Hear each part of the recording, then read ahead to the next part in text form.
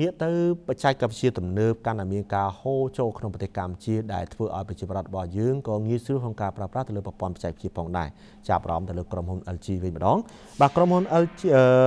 ក្រុមហ៊ុន G ជាបាទ G Gear ដែលទទួលបានសិទ្ធិក្នុងការចែកចាយ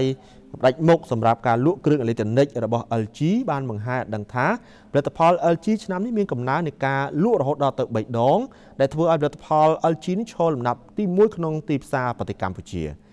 លោកអង្គញាសុកពិសិដ្ឋនាយកប្រតិបត្តិក្រុមហ៊ុន Giga បានដឹងយ៉ាងដូចនេះក្នុងពិធីជួបជុំប្រចាំឆ្នាំជាមួយនឹងអ្នកលក់បន្តរបស់ក្រុមហ៊ុន Giga កាលពីរាត្រីថ្ងៃទី27ខែកញ្ញា ដោយផលិតផល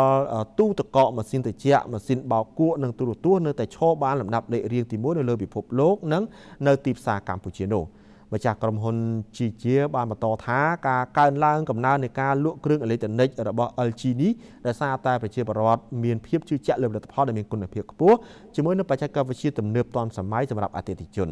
លោកអញ្ញាបានបញ្ជាក់បន្ថែមថាផលិតផលទាំងអស់នេះមានភាពសន្សំសំចៃធម្មពលអគ្គិសនីចាប់ពីជាង36%រហូតដល់ទៅ70%និងជួយបន្ថយការសាយភាយសារធាតុបំពុលនៅក្នុងបរិស្ថានថែមទៀតផងសូមបញ្ជាក់ថា LG Electronic បានមានវត្តមាននៅក្នុងប្រទេសកម្ពុជា ចាប់តាំងពីក្នុងឆ្នាំ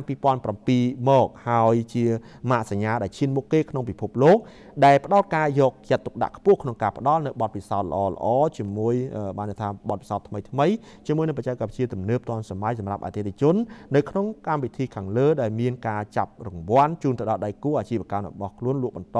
ទូទាំងប្រទេសរបស់ក្រុមហ៊ុន LG និងក្រុមហ៊ុន Giga ហើយដែលមានរង្វាន់សរុបចំនួនទឹកប្រាក់ដល់ទៅ200លានរៀលដែលរង្វាន់ធំបំផុតគឺរថយន្តចំនួន1គ្រឿងផងដែរ។